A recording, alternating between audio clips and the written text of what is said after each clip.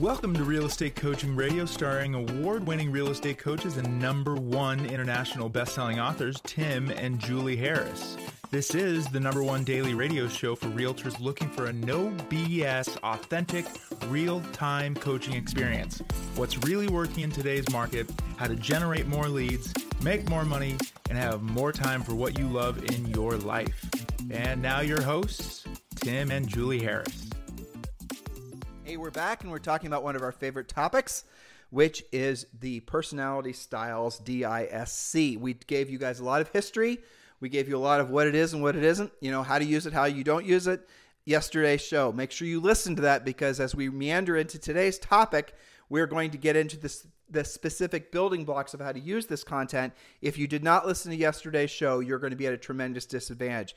And furthermore, even if you've been exposed to this, which most of you probably have, if you're older than probably 35, you may have even taken a personality test. I really think you should go back and listen to yesterday's show. You can listen to it after this one, obviously, before this one would make more sense, because then you can fully grasp how to make the information of this personality stuff practical and tactical. And you can see how, frankly, again, we talk about the history of it, we talk about what it is, what it isn't, but most importantly, what we talk to you about is how you can use it to put your to better put yourself in a position to help other people and make money.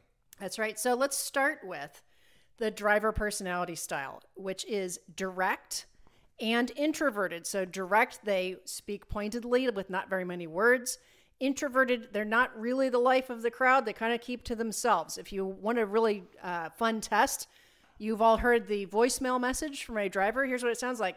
Beep. They don't even leave a message some of them. Or they'll say you know the drill. Click. Well my voicemail if you guys so um, yeah, i'll just do it anyway. I, uh, if you want to join EXP Realty, Julie and I would love to be your sponsors. All right. So you guys know we're at the EXP. We have an EXP Realty group. It's uh, we're sponsored by uh, all that. So if you're interested in joining EXP, just text me directly at 512-758-0206, 512-758-0206. Now, I did say text, and some of you won't text. You'll call, and you'll call, and the voicemail you're going to hear is, guess what? Please, uh, I don't check this voicemail. This voicemail is just here to tell you to do what I originally asked you to do and send me a text. And here's the phone number again, in case for some reason you yes. don't know what it is. Which is fairly wordy for a driver, but you're asking them to do something specific. Which I just did. So if you're interested in joining EXP Realty, guys, do text us at 512 758 0206. So the driver is both direct and introverted. Often they are entrepreneurial, CEOs or managers, or other positions of authority. Not always, but often that's where they will be spending their lives. And we're going to do how you win and how you lose this is specifically with a driver. So that assumes that you have assessed that you're probably dealing with a driver because you now have observed that they are direct and introverted. You win by showing up on time, by being direct, by being prepared and professional, by asking pointed questions to understand their needs. Make your questions succinct and understandable. By showing how you will deliver results, by being factual and accurate and not full of fluff, Send bullet pointed short emails. I guarantee you they don't get read if you write a novel for a, to a driver in your email. Especially if you're amiable and you're talking and use oh the goodness. word like feelings a lot. And you're trying to make it some uh, some little, you know, some story. That's not you're not when you're trying to do business with somebody who you've identified using the notes from yesterday's show as a driver, if you get in some long-winded story about how your golden retriever, you know, stubbed his toe, I promise you that email will not get read. And it's not even that the driver doesn't care. It's just that they're not somebody that's going to sit there and read a long textual email or even worse, trying to put that in a chat. And just for the record, guys, it's not their, it's your problem that you're not being versatile that's right. to be, uh, to relate to them. It's not their problem for not being versatile to want to read your long winded email. You guys get the difference? If you want to be the best version of yourself, not just as a real estate professional, but as a human, right? Mm-hmm. You have to be the person that is going to uh, be more versatile and you're going to modify your approach, not expect the world. It's like this current zeitgeist that's, um, yeah. frankly, it's amongst a lot of millennials. And you guys just hear me out before you think I'm picking on millennials because I'm not.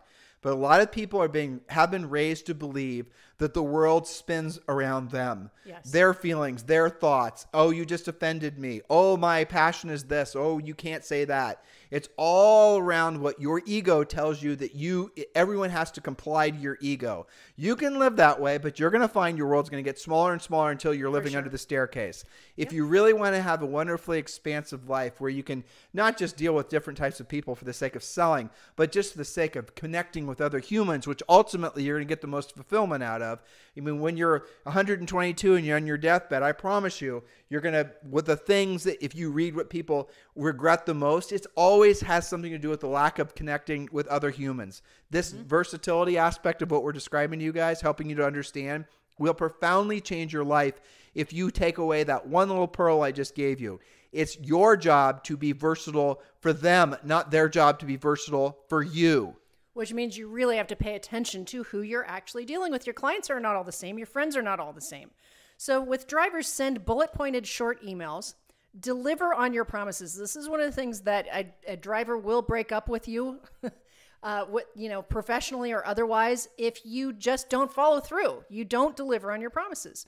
Um, so, how do you win? You close for their business. Drivers do like to be closed. They actually appreciate you asking for their business and will think that it's weird and weak if you don't. If you have a crappy, sloppy, informal presentation, a driver, I, I know I'm stepping on some of your notes, but a, a driver will maybe be polite, maybe acknowledge and play along, but if someone else comes along that's organized and is factual and is professional, you're toast. Yeah, when you guys say that somebody ghosted you, it's it could be because you had a sloppy presentation to a driver and they just are not going to deal with you anymore. And the expressives, I'm talking to you guys. You guys are the ones that are most likely to walk in and win the business just off your personality, or at least that's what your ego tells you you're going to do. Assumptively. You're presenting to an analytical or you're presenting to a driver and you're walking in there being assumptive and not having a formal approach, not having a listing presentation, never having pre qualified them, not actually taking their business seriously. And then you're followed by somebody whose lic- license number isn't even dry. You know, the ink isn't even dry in their license, but they do have an organized approach. That new agent's going to kick your ass. And how do I know that's true? Because we have thousands of agents who join our coaching program on a routine basis who are kicking the butts of the agents who are seasoned veterans because they are treating the business like a business and having a more formal approach that they learn as being coaching clients of ours. That's right, and a more versatile approach. So with a driver you lose by here there are many reasons, but here are some of them. Showing up late or rescheduling, especially more than once. That shows that you're not taking the appointment seriously. Not being prepared, so you seem to be winging it or taking their business for granted, what you just mentioned, Tim. Sending long text heavy emails or lengthy voicemail. Not following through on what you said you'd do. Being assumptive versus factual. Looking unprofessional, too casual, or disheveled. That's not good. Not asking for their business at all. Or taking too long at your appointment, selling with blah, blah, blah instead of just blah. They want you to cut to the chase. That's actually a driver subconscious script that they use. Cut Well, to the- the chase, get to the point. Right. Well, they'll again, if they're not versatile drivers, they're going to say that. What's the bottom line? Cut to the chase. Yeah. Like, can we just cut the? You know, can we just get to really what matters most? And if you're not versatile and you don't know how to change your personality, uh, you know, change your personality and your approach to dealing with a driver, what's going to happen to you? You're going to feel like you just got hit in the head with a steamroller. That's right. And we're trying to save you from some of those painful experiences. I know I was trying to visualize what it'd be like for someone to pick up a steamroller and use it as a bat, good. but it wouldn't work. And we are doing this fairly quickly because in coaching, you get the real drill down on this. We just are exposing you to the art and science to actually uh, apply this on your appointments. And yesterday we showed you guys how to actually visually and even physically d- determine what somebody is. So if- again, if you didn't listen to yesterday's show, go back and listen to it. But here's the visualization for you. You're you're at some party, you're walking into a seller's house. It does not matter. You are coming across people, People. that you do not know. How much more powerful and confident will you feel if you can instantaneously, almost subconsciously, because you've reached a level of competent uh, uh, uh, competence, Competency, right? yeah. Competency where you can instant. Uh, what was the highest? The um, conscious competence, right? Yes, where you've reached the highest level of conscious competency, and you're eb- and you are able to ascertain what their per- now. How will you know how they communicate? What their job title is? What type of company that they're in? How they're dressing? How they approach you? How you see other people interacting with them? How they stand? How they stand in the room? what they're if they're if it's at some party where their spouses are there what's the personality type of the spouse? Because generally speaking, you'll see people that are introverts marry introverts and extroverts marry extroverts, even if one, say, for example, a driver and the other is an analytical. Because otherwise, you're going to have every weekend where your analytical introverted type is going to want to stay at home and you know basically recoup from the weeks of a week of having to you know be more Be extrovert, right? and they're going to want to just take a breath and go on a walk in the woods. Where the extroverted person's going to want to go, go, go, Let's go. party. Right. And that's going to, generally speaking, that's going to create a little bit of a, a turf battle about, you know, who's going to win the war of the weekend, which means that that's not going to be necessarily a great, uh, a great recipe for a long term relationship. So you can, once you understand the building blocks of this stuff, and then you understand a little bit about the people you're interacting with, figure out what their personality style is. And if you're an amiable person and you're running across somebody his okay, you found out this person, the lady's an accountant, right? And the husband's a doctor, I you know, and and you you can pretty much without uh, with virtually no fear of being wrong, assume that they're both introverted. Absolutely. Right. So if you're an amiable person who is uh, generally speaking less direct, you're going to do good with these people, and you're also then going to want to not necessarily spend so much time talking about emotions and whatnot. You're going to want to be a little bit more factual, a little bit more reserved than you normally would be. Um, and a little bit like, for example, an amiable person. And again, we're I'm jumping ahead, but I want you to start realizing the power of this. An analytical person, generally speaking, is going to dress more formally, is going to dress more, pre- I don't know, the word I was about to say was precisely, More crisp. right? More crisp. They're not going to look like bohemians, right? They're going to look more like Absolutely they're, not. right. And a driver the same way. And, and if you guys really want to have some fun with this, eh, you can, when you're showing houses to people and you're taking them through, you know, if you've not yet learned how to be a listing agent, which means you haven't become one of our coaching clients yet, but when you're showing real estate to people and you take them into uh, different neighborhoods, it, you will oftentimes see the buyers will start looking for signs of people that are similar to them. Now, how are they going to now without seeing the people, the neighbors, they're going to just look at the yards. Mm-hmm. Yep. If you're dealing with an amiable and they're seeing lots of kids stuff everywhere, And playgrounds. and and playgrounds and blight and neighborhoods are, are generally speaking dominated by certain personality types Mm-hmm. and you'll and you'll see an amiable rolls into a neighborhood of another amiable uh, where there's obviously a lot of amiables living there Yep. that person's going to instantly feel more comfortable now if you take a driver to a neighborhood where everything looks a little disheveled and there's kid plastics i'm trying to avoid saying the word crap but if there's kid stuff everywhere Such a driver if, thing if, if it, well but if it's a big mess everywhere know. and it's disheveled and you know it just looks a little bit like uh, there's a little bit lack of order there your analyticals and your drivers probably aren't going to like that neighborhood as much Yeah. as if you take them to um, a place where things were a little bit more formal and tidy and whole communities are designed around this drivers in um, analyticals for example they like hoas they like things that are orderly Tidy. they like tidy they like you guys get Symmetry. right I, I was laughing because I think about our neighborhood in Dorado where there's like eight or nine different neighborhoods in the same community. And there's like a very, very, very kid community. Yeah. And then there's some very not kid communities. And they do have different feels, even though they're a 10 minute golf cart ride away from each other. You know, it's interesting. The kid community, you know, you've got little kid crocs all over the place. Yeah, you're talking about Dorado Beach East. Yeah. Right, and then you go over to to uh, Dorado, uh, like you West Beach or something. West Beach, and then it's it's essentially like you're walking into a sterile operating Like room. you don't even know anybody lives there. it's hilarious. and they all kind of walk around like they're in some sort of, uh, you know, they they wear. They're just think of this, More how they dress. yes, absolutely. You'll never see anybody wearing Crocs living in West Beach. No, can't happen. It's impossible. but I do remember um, showing many buyers that would say that would specifically request neighborhoods where all of the backyards abut each other. Yeah. You know, so that they can just send their kids out to play with other kids without crossing the street. You know, these things are important to people. And the thing is, this is why you have scripts. This is why you ask questions so that you can drill down and know who your client is. So you're draw, you're pulling into the driveway of a house tomorrow, and you listened to the podcast series we started before this one on how to become a listing agent, right? You've signed up for our coaching program. You are actually knowing what to do, how to do it. You're pre-qualified. You've got sent the pre-listing pack. You know they've read it. You got the listing presentation.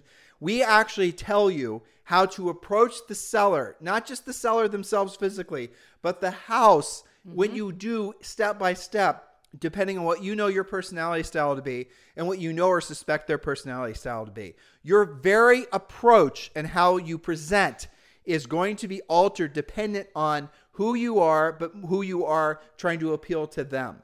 Based on your observations and your questions and your answers and things of those nature. And by the way, I mentioned coaching. Here's the thing: the pre-listing package that we teach you guys is very DISC friendly. That's the reason we tell you guys not to change it. That's right. It's very well thought out.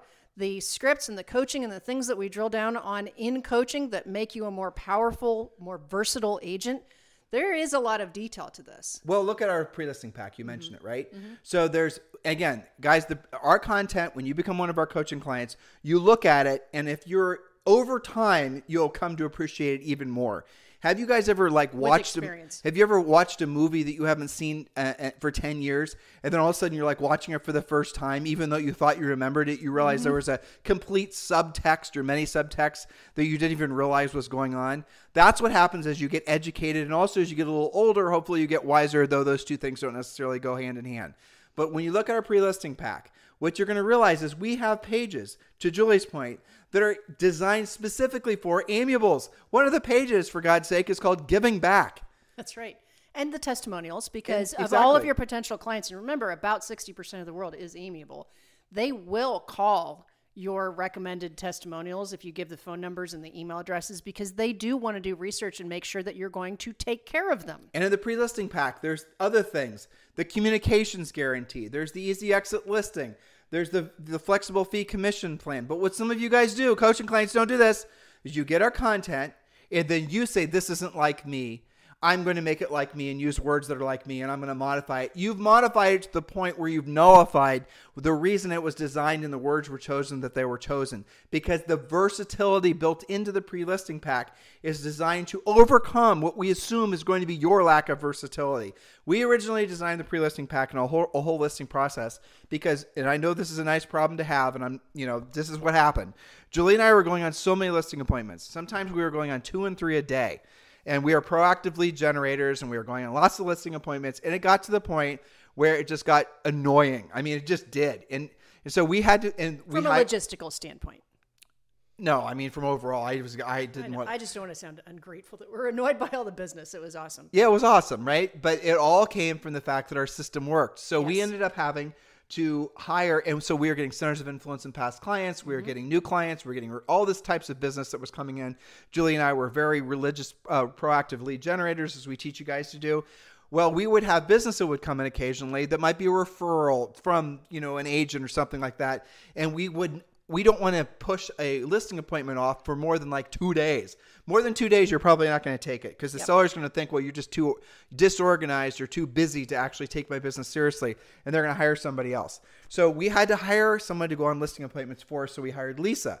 Lisa was a nice gal. She did not have a lot of sales experience. She had a great personality and she was expressive. But what she was most of all is she was willing to learn how to be more versatile. So what mm-hmm. Julie and I then had to do is we had to create the pre-listing pack and we created many different generations of it so that when she went on listing appointments, it got to the point where her ratio of taking the listings was almost as good as ours. because she had learned versatility and the ability to present to different types of people the way they wanted to be presented. to. She was essentially filling a role. It wasn't dependent on her personality. It was dependent on her using the system that we had created for her. And that same system, actually many, many different ver- uh, iterations and evolutions of that system, is what you guys have as a coaching client. If you want to stop wasting time trying to figure it out on your own, which is what the professional amongst you will want to do, go to timandjulieharris.com, click on coaching, and just join, guys. Just join Premier Coaching. That is the perfect entryway into our coaching program.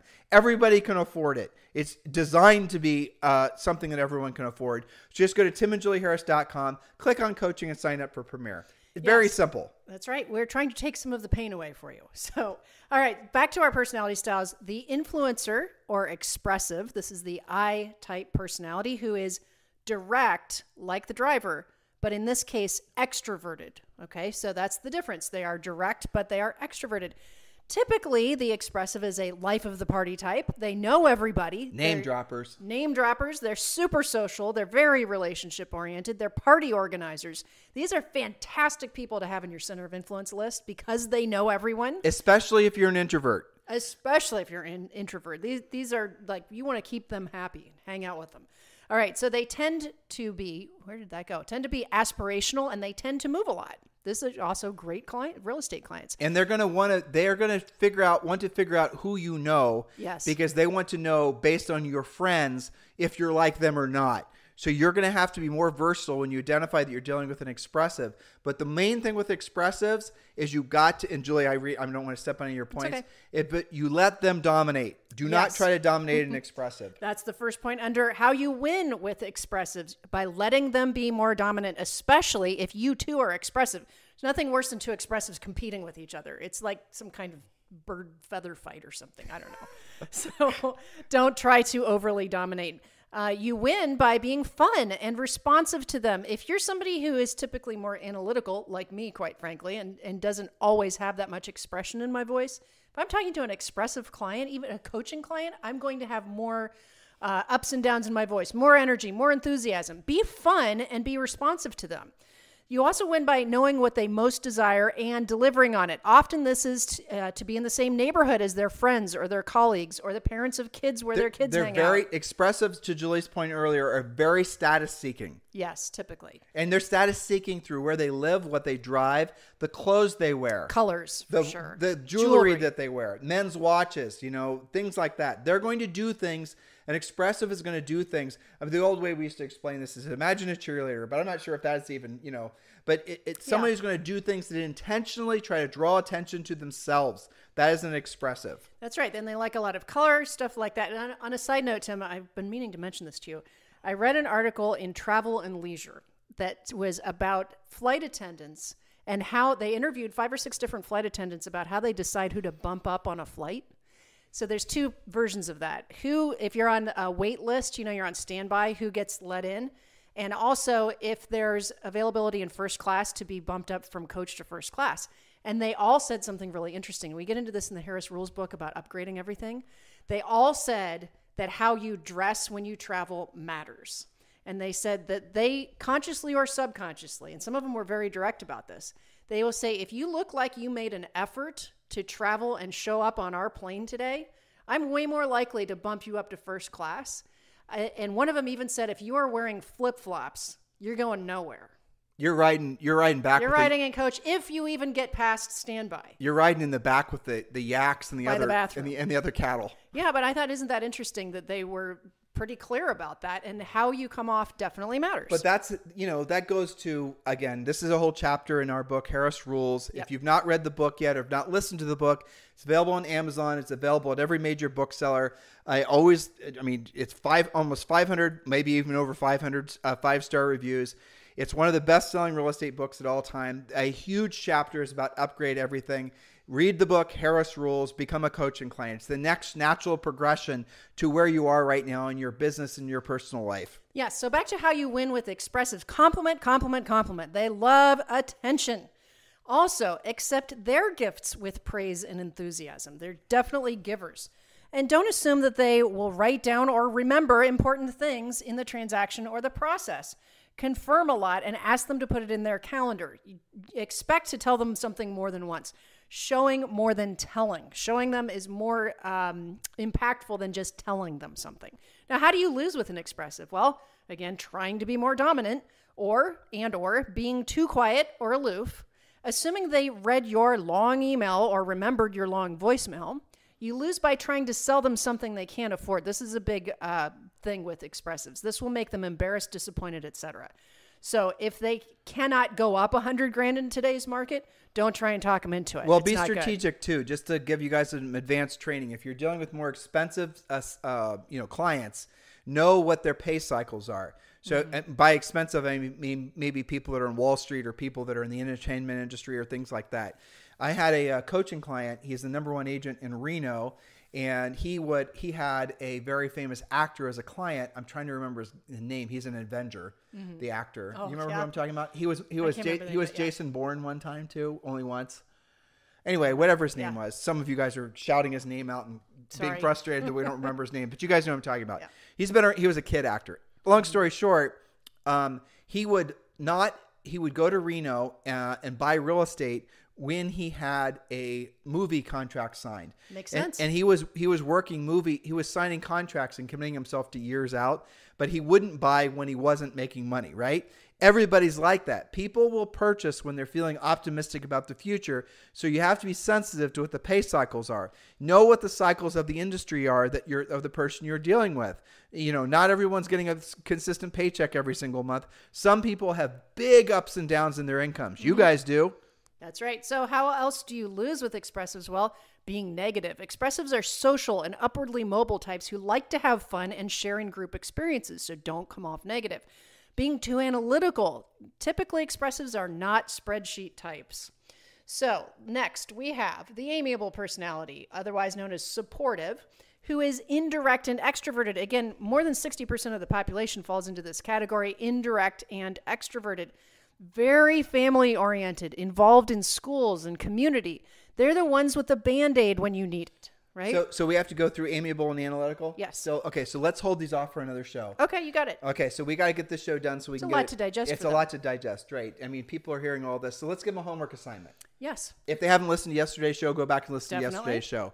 Um, we do have a website. It's called agentdisc.com, agentdisc.com. Uh, you know, so you can go there and take a free personality assessment.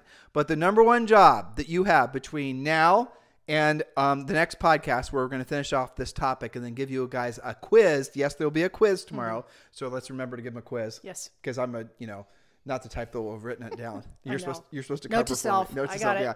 Um, is that you should be giving us a, and this is me being direct, five star review Mm-hmm. Yes. on iTunes with a comment. And if you're listening to the video on uh, YouTube, please subscribe to our channel and also give us a great comment. We certainly appreciate the position that you guys put us in as being uh, being in tune with our life purpose, which is being of service to all of you.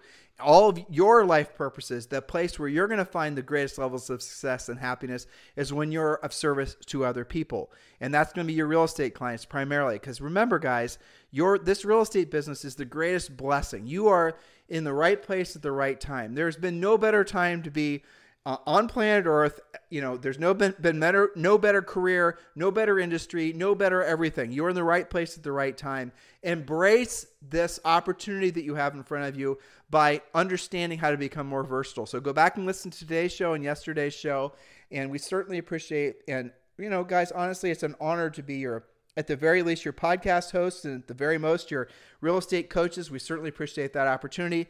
Many of you are ready to join our coaching program. Just go over to timandjulieharris.com click on coaching and then you can join uh, most of you will want to start out by joining in premier coaching. Very affordable very simple to join. It's the next natural step for all of you. Have a fantastic day. We'll talk to you on the show tomorrow This podcast is a part of the C Suite Radio Network. For more top business podcasts, visit c-suiteradio.com.